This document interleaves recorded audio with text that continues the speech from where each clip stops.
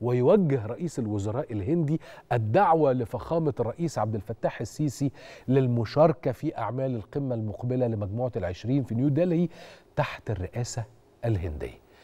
تعرف يعني إيه بتعمل شراكة؟ بلدنا بتعمل شراكة مع واحد من أكبر وأهم عشرين اقتصاد على مستوى العالم؟